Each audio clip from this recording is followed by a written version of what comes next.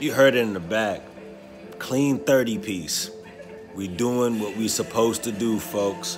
When it's time to win, it's time to win. And we get into it. Lighten it up. Threes coming out the woodworks. Defense is on point. Not holding up. Applying that pressure. 65 35. Y'all heard it. 65 35, man. And on top of that, I like the fact that everybody's getting into it. Everybody's getting some touches. Everybody's getting baskets. The whole team is contributing to this, man. It's not just one sided, it's super lit. It's nothing really we can really say about this. Like, I'm so tongue twisted and so tongue tied, there's nothing really to say. Like, just get ready for the second half, man.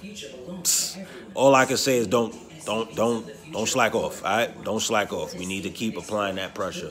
I want us to win by like. Matter of fact, I think the Miami and the Bucks game. I think Miami won by 47. Let's beat them by 50. Let's go ahead and dog them out. It's lit. As you can see, man, I said catch me after the second half, man. I said I'm gonna wait till tomorrow. We cooked them. We went crazy. I was too busy celebrating. I turned up. I said, right, I'll do the rest of this in the morning and drop this tomorrow. Bro, set a franchise record. 24 threes made. Quentin Grimes got in on the action. Immanuel Quickley. D Rose.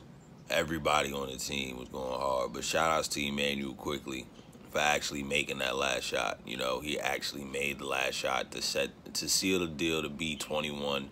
It was super lit. Super, super lit. Turn up time bro, you gotta be you gotta be proud of these guys. They broke that record technically the first time in preseason, and this time we we really did it second game in season. So it's super lit.